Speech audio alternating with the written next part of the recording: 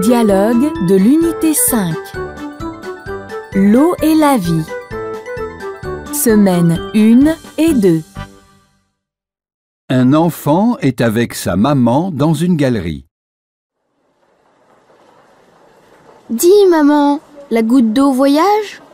Oui, elle tombe sous forme de pluie et traverse plusieurs lieux avant d'arriver dans nos robinets. Et pourquoi l'eau est précieuse?